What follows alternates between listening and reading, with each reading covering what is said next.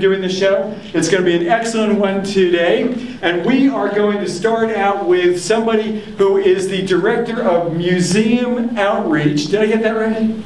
That was pretty close over there. Director of Museum Outreach. This is Randall Fastabend from OMSI, and he is going to do a little something about Bernoulli baseball. How many people know how to play, uh, like throw a, uh, a curveball, slider, all that kind of stuff? Well, you're going to find out right now. Let's give it up for Randall. Come on out here.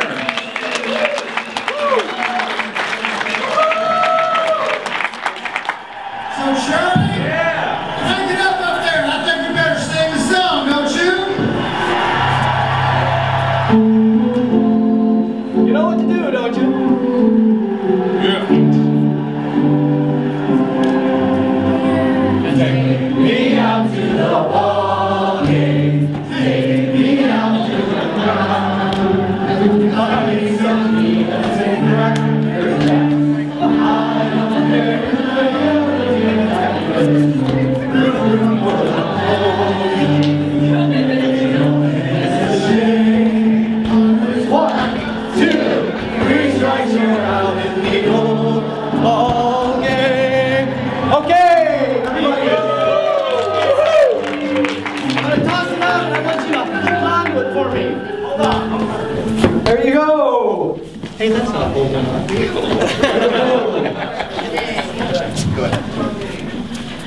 We're gonna do a little thing called Bernoulli's baseball.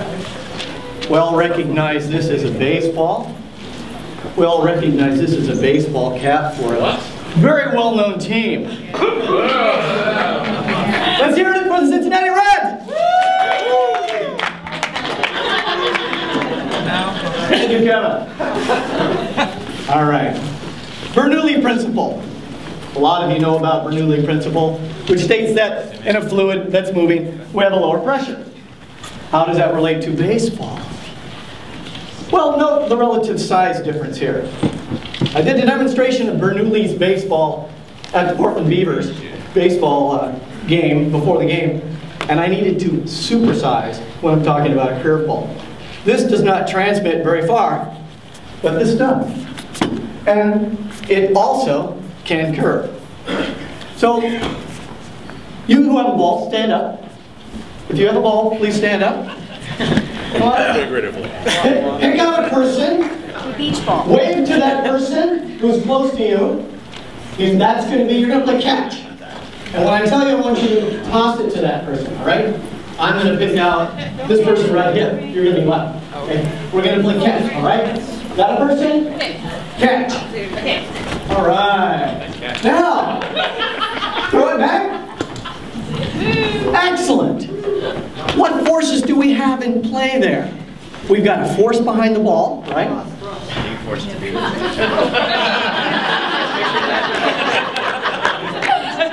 We have a force behind the ball that accelerates it and gets it moving. Once it's in the air, what forces are at work on it then? Come on, raise your hand. Gravity. Gravity is going to pull it down, back down to earth. All right, excellent. We also have friction, yeah. So note, as I throw it, what's your name, please? Alex? As I throw it to Alex, nice soft throw, it goes up and it comes down. We see it slow down a bit with friction. We see gravity take it and pull it back down. That's great. Now we want it to curve. It is curving. But it's curving due to those forces, gravity and friction. But if I wanted to change its course, have it change its course, what do I do? Everyone. Spin it. Spin it. So I'm going to spin it this time. And the nice thing about using beach balls is it has these different colors so we can see the spin. Are you ready, Alex? Yes. All right. Oh! Just a little outside. Just a little outside. Thank you, umpire, Jonah Cohen. All right, I'm going to try to get it to you now. So now I have to reshift. I have to calibrate. I have to like think, okay, I'm going to send it over this way, and it should come back to you. Here we go.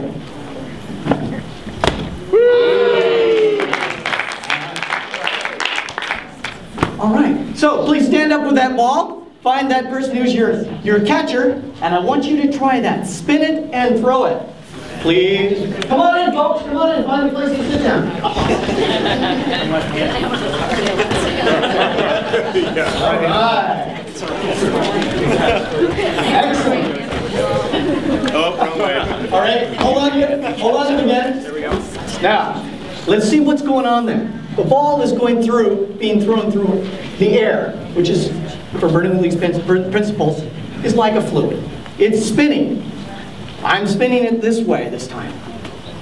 Is the pressure of the air as it goes through, the pressure on the side of the ball, is it greater or lesser on this side? As it's spinning this way? There's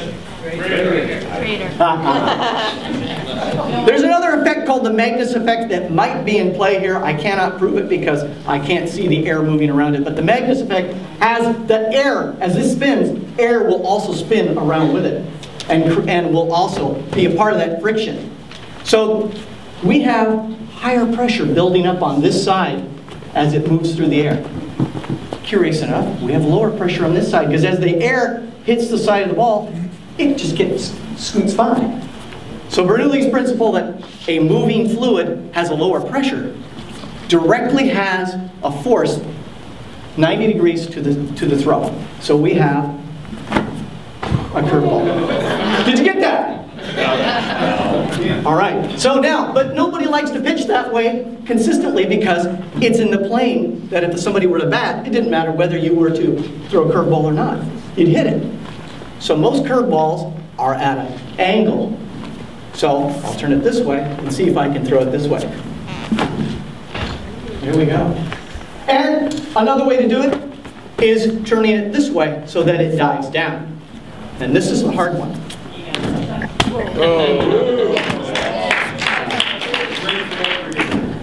So, if you want a rising fastball, you go the other way. And this is pretty common. It's how you might see it come in and it'll scoop up. Or, let's find out.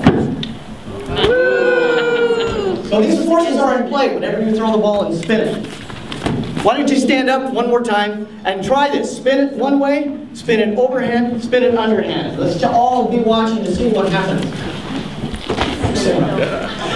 Jonah.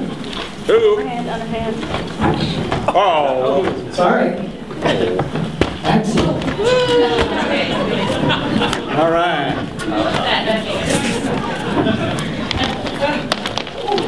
Okay, hang on to the ball.